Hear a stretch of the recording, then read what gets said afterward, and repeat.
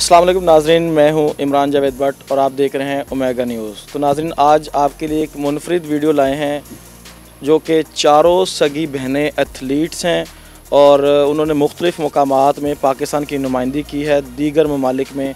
तो किस किस प्रोग्राम्स में उनकी एक्सपर्टीज़ हैं और कौन कौन सी गेम्स उन्होंने की है, इस हवाले से हम उनसे गुफ्तु करेंगे और उनका तारुफ भी आपके सामने करवाएँगे।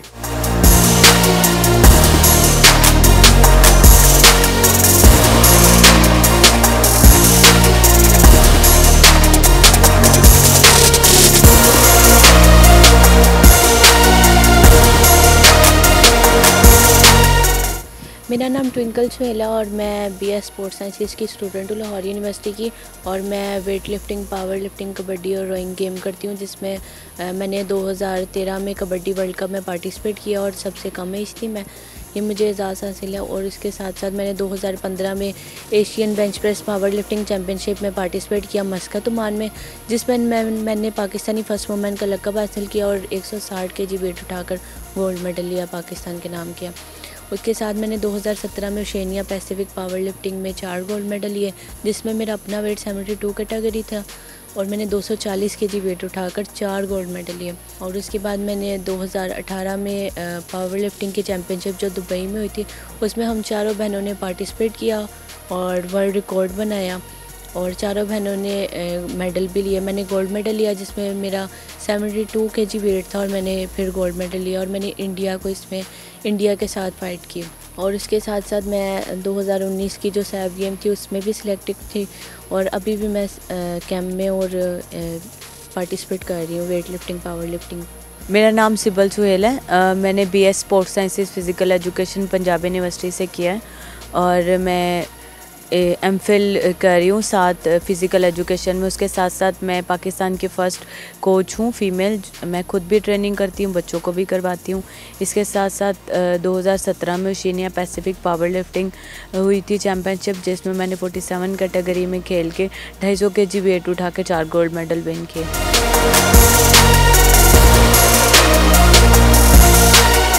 मेरा नाम विरोनिका है और मैं international weight lifter power lifter हूँ।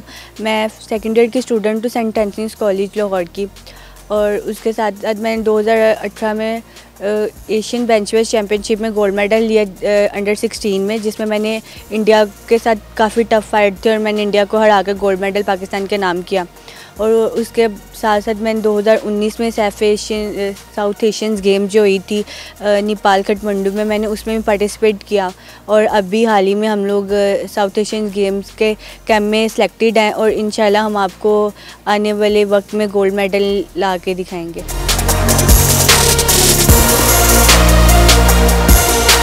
ये बताइएगा कि एथलीट्स में आपको किन किन मसाइल का सामना रहा है और उनको आपने अपने तई या गवर्नमेंट की तरफ़ से किस हद तक उसको हल किया है या हल हुए हैं?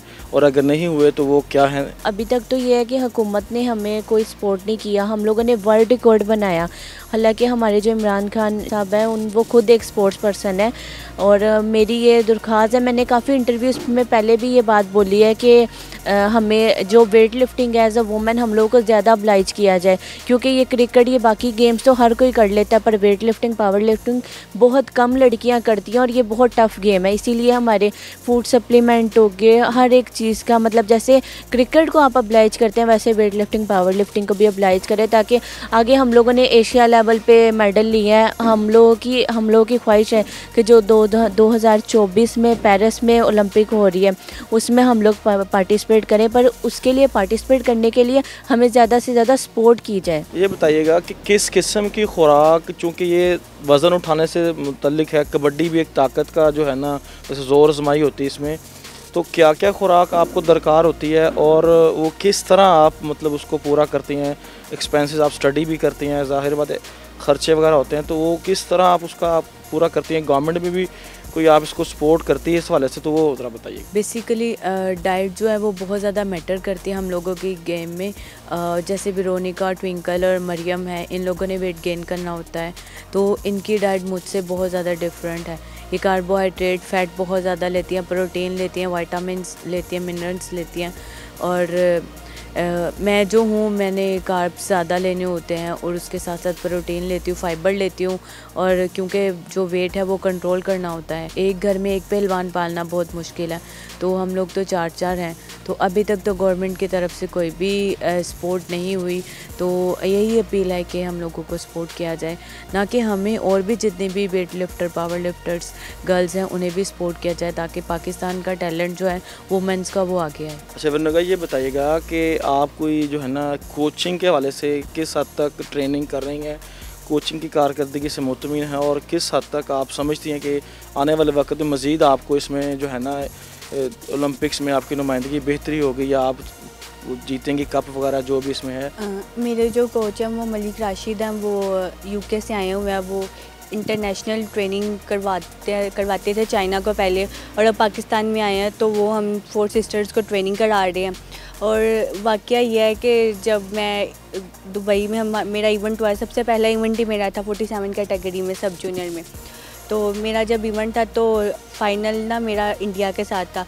तो काफ़ी ज़्यादा उसके साथ टफ फाइट चल रही थी लेकिन आ, मैंने पाकिस्तान के नाम गोल्ड मेडल किया और इंडिया को हराया। और वो बहुत ज़्यादा खुशी वाला मोमेंट था कि जब यानी कि फ्लैग सेरेमनी हुई तो पाकिस्तान का फ्लैग ऊपर जा रहा था और एंथम हमारा वो हो रहा था, वो सबसे ज़्यादा यानी कि हम प्लेयर्स सिर्फ़ एक उस एंथम के लिए ही सारे एफर्ट्स करते हैं कि हम बाहर का मुल्क जाएँ और अपने पाकिस्तान का नाम रोशन करके आएँ। नाजरीन, ये हमारे लिए खुश नसीबी की बात है कि चारों बहनें एथलीट्स हैं और चारों बहनों को हुकूमत पाकिस्तान की तरफ़ से प्राइड ऑफ़ परफॉर्मेंस का अवार्ड मिला है।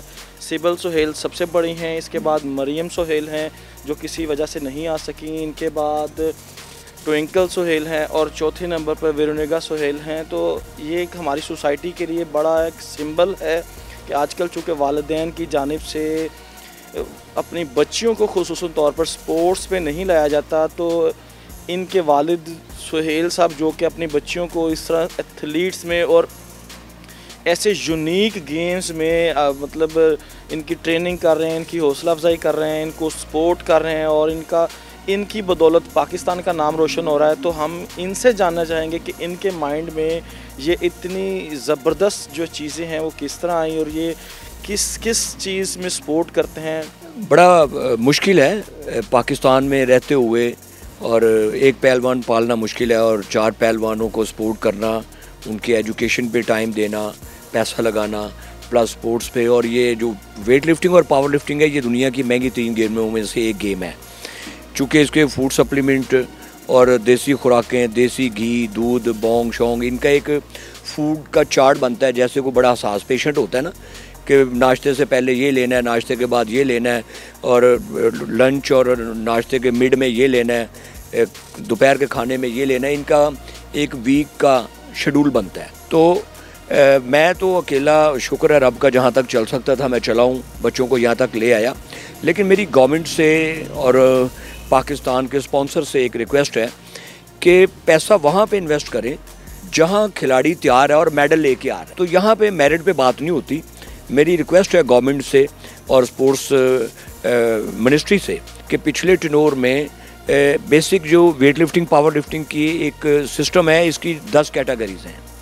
और जो प्लेयर कोच तैयार करते हैं और रजिस्ट्रेशन भेजते हैं आउट ऑफ़ इवेंट जो इंटरनेशनल इवेंट होते हैं तो वो कोच रजिस्ट्रेशन करवाएगा, जब उसे अपने प्लेयर पे मान होगा कि मैंने इसे इंटरनेशनल मैार की ट्रेनिंग कराई है, और ये विनर होगा अल्लाह के हुक्म से, इसकी इतनी प्रोग्रेस या ट्रेनिंग है कि ये पाकिस्तान का झंडा सर बुलंद करेगा। लेकिन हुआ क्या कि उन्होंने ऊपर के पाँच नाम जो हैं, वो ओके कर दिए, नीचे के पाँच नाम रिफ्यूज़ कर दिए बिकॉज़ के जी फंड कम है। तो पाकिस्तान जो है वो मेडल से महरूम हो गया और खिलाड़ी भी मेडल से महरूम हो गया। और जो लड़कियाँ हैं, इनके पास तो पहले बड़ा शॉर्ट टाइम होता है। जो लड़के हैं एज ए मर्द, उनके पास ज़्यादा टाइम है लॉन्ग खेलने के लिए, मैदानों के लिए। लेकिन कोई भी जो फीमेल है, उसके पास टाइम शॉर्ट होता है बिकॉज़ कि वो फीमेल है। तो इसलिए जब खिलाड़ी तैयार होता है तो उसके जितने इवेंट हो, जब वो जितने इवेंट में शेयर करेगा, वो मेडल लाएगा। तो मेरी यही रिक्वेस्ट है कि खिलाड़ी बनना बहुत मुश्किल है। इंटरनेशनल मैार तक जाना, फिर बाहर लड़के मेडल लेके आना कोई आसान काम नहीं। ये बड़ी मेहनतों का समर है कोचिज़ की मेहनत है प्लेयर की है, और बजट की है। तो प्लीज़ ज़्यादा से ज़्यादा दुआओं में याद रखा जाए। गवर्नमेंट सपोर्ट करे, ख़ासकर उन खिलाड़ियों के लिए जो विनर खिलाड़ी हैं। तो नाजरीन, एक बात और जो मैं आपको बताना भूल गया कि पूरी दुनिया में ये आलमी रिकॉर्ड है कि चारों बहनें एज एथलीट्स परफॉर्म्स करती हैं और चारों बहनों ने गोल्ड मेडल जीते हैं। और ये एज़ाज़ भी पाकिस्तान के नाम है, वो इन्हीं चारों बहनों की वजह से पाकिस्तान की इज़्ज़त में इजाफा हुआ है और वो रिकॉर्ड भी इन्हीं के पास है कि चारों बहनें एज एथलीट्स गोल्ड मेडलिस्ट हैं।